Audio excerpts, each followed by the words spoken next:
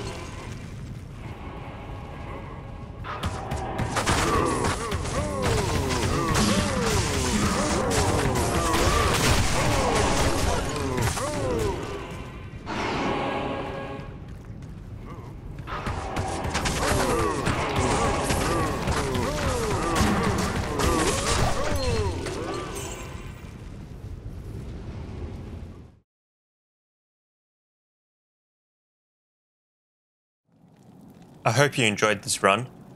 This run is the fastest out of the 10 consecutive runs completed.